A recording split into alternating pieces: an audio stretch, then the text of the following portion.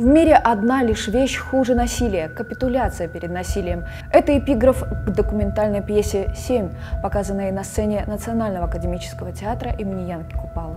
Беларусь вошла в число стран, которые во всеуслышание сказали «нет насилию над женщинами». Проект, связавший 30 стран мира острым восприятием проблемы, прозвучал в Беларуси благодаря совместной инициативе Фонда ООН в области народонаселения, посольства Швеции в Республике Беларусь и Шведского института в Стокгольме. Первый публичный показ пьесы «Семь» прошел на сцене Национального театра имени Янки Купалы. В первую очередь, каждый зритель может сказать «нет» насилию, домашнему насилию э, на свой манер и в зависимости от своих возможностей. Ведь проблема заключается не только в том, что 70% женщин сталкивается с домашним насилием, с насилием э, в Республике Беларусь, но то, что очень велик процент людей, которые принимают насилие. Это не та драматургия, в которой фантазия автора оправдывает душевное спокойствие зрителя. Как бы не было велико потрясения, герой выдуман. В пьесе «Семь», написанной и спродюсированной шведской актрисой и писательницей Хедой Крауш-Хорген, все до боли реально. Основой произведения стали семь интервью,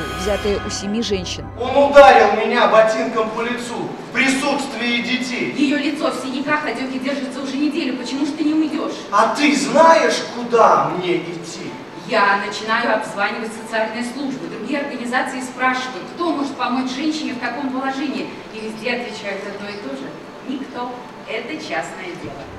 Бизнесмен, основатель известного интернет-портала Юрий Зисер, посол Швеции в Беларуси Мартин Оберг, посол доброй воли ЮНЕЙДС в Беларуси телеведущая Светлана Боровская, олимпийский чемпион по фристайлу Антон Кушнир, многократный чемпион мира по тайскому боксу, вокалист панк-группы Брута Виталий Гурков, телеведущая Анна Бонд, солистка музыкального проекта «Шума Руся» и Павел Харланчук-Ежиков. Без лишнего пафоса, но невероятно пронзительно доносят до сердец слушателей правду о трагедии женщин, испытавших на личном опыте сути, что значит насилие. Постановщиком белорусской версии театрального проекта стал режиссер Иван Пенигин.